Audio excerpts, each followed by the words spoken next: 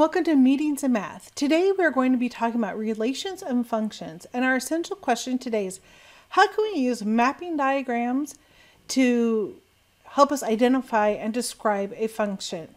Today you'll need your Jaguar Johnson section 6.1, a pen or pencil to write with. You might find a highlighter be helpful. You will always need your problem solving skills and some inspiration. So let's get started by using some definitions. Ordered pairs can be used to show inputs and outputs.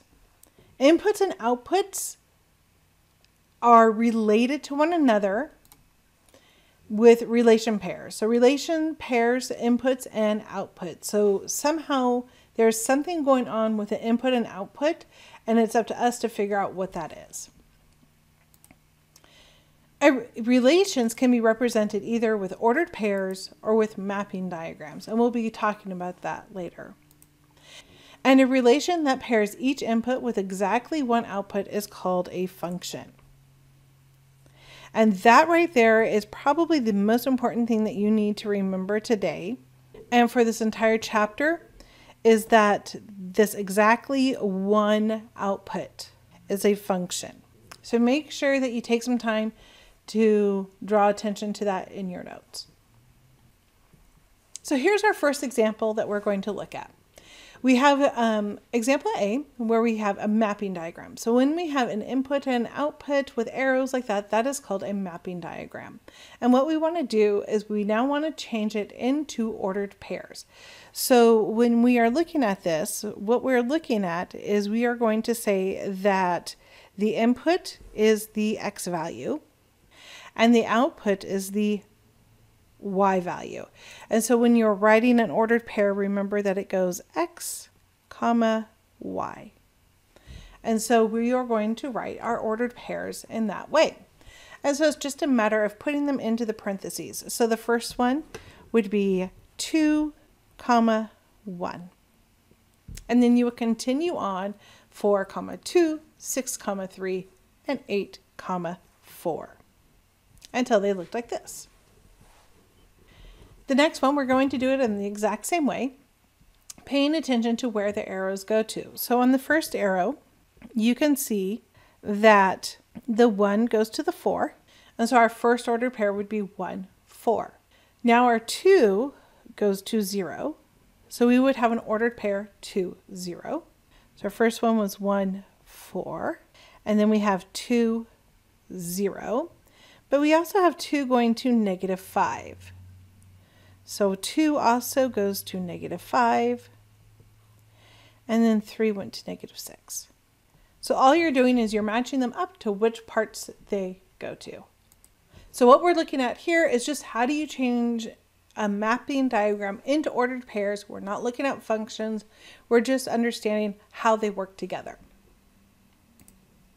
On this one, we are looking at is a mapping diagram a function? And remember, that means that each input has to go to exactly one output. And so that's what we're going to do. We are going to look at each input and does it go to exactly one output? So let's look at this. And 0 goes to 2, so that's good. So 0 went to 2, and that's great. Then 1 went to 4, and that's good. And 2 went to 6, but coming off of 2 is 7. So I like to think of this as I'm standing at a Coke machine. And these are the numbers, or these are the buttons on the outside of the Coke machine. And then these are the things that can come out. And is this predictable? So I'm going to get rid of some of this extra stuff now, and we're going to talk about this a little bit more. So if I'm standing on the outside of the Coke machine and I press this button, I predict and I will know that every single time I will get a 2 out. Every single time I know this is going to happen. It is predictable. This is good. This is what a function does. A function is predictable. I know what's going to happen. So when I press the 1, I know every time I press the 1, I am going to get a 4 out. So if a 4 is my favorite number and I always want to make sure I get a 4 out, I am going to press the first button or button number 1. And I know that this is good. Then I come along and I press button 2. Now I have a problem. When I press button 2, I don't know if I'm going to get a 6 or a 7. It is no longer predictable. This means it is not a function because I cannot predict what it is that I'm going to get. I don't know if I'm going to get a 6 or if I'm going to get a 7. So it is not predictable. If it is not predictable, it is not a function. Function means it is predictable. I know what I will get every single time. So this right here is causing us a problem. Because I cannot tell you what I'm going to get, this is not a function. In other words, for every input, this gave me two outputs. If we go back to our definition of what a function is, it said every input has exactly one output. This did not have exactly one output. This had, right, for every input, there's exactly one output. I had two outputs. So that is not going to be a function. So this is not a function because an input of 2 has an output of 6 or 7 and I can't predict what I'm going to get when I press 2. So let's look at B. When I look at B and I press 2, negative 2, I get a 2. That's good. And I can only get a 2 out. That's very predictable. So far, so good. When I press negative 1, I get a 1 out. Very predictable.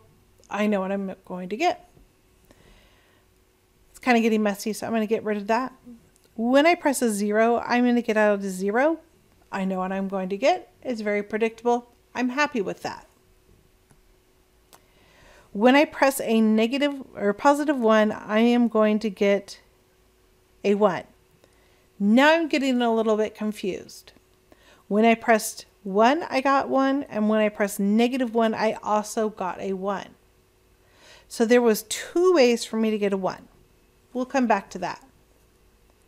When I pressed 2, I got a 2. Pretty Predictable, I'm happy. So the one I'm not sure about is this one. So think of it this way. You walk up to the Coke machine and you want to get a Dr. Pepper. Dr. Peppers are super, super popular, and there are two buttons for Dr. Pepper. Doesn't matter to you which one you pick. No. If I pick the top button or the bottom button, I am still going to get Dr. Pepper. It just is, there's two ways for you to get it. You can still predict whether or not you get a Dr. Pepper, no matter which button you press, so you are okay it is still predictable what's going to happen when you are pressing an input button.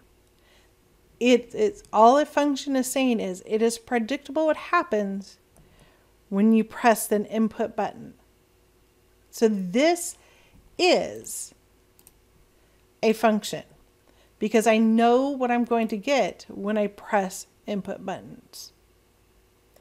Each input goes to only one output. So even though these both went to 1, that's okay because each input goes to only one output. So kind of the trick to look for here is see how this had a V coming off of it? You can't have that. See how all of these only have one thing coming off of each of them? That's okay. So let's look at this. Are these here functions or are these not functions? In other words, are they predictable? Each input has only one output. They each have only one line coming off of them. I'm looking at this first one right here. They each have only one line coming off of them, so that's good news. So then how do we figure out how I go from an input to an output? For this one, we start looking for patterns. So if I look at my pattern that's happening here, 3 to 4, 4 to 5, and 5 to 6, those are each increasing by 1. So that's very nice. Then I look at 36 to 48, 48 to 60, and 60 to 72. Those were all increasing by 12. And so we just talk about those. One, it is a function.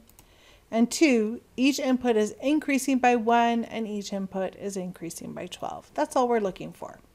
So now let's look at the second one. Each one, each input has only one output. That's good news. So talk about your inputs. How are they each increasing? They're each increasing by two.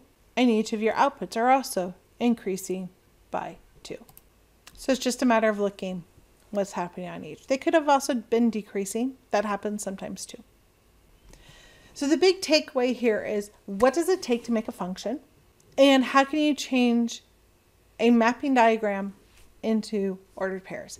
And I want you to explain this to somebody in your house or somebody that's willing to listen, maybe even a librarian. There's always somebody willing to listen. But find somebody willing to listen and explain to them what a function is. Thank you so much for joining us. And remember, be kind to one another because we all can use some extra kindness in our lives. Bye for now.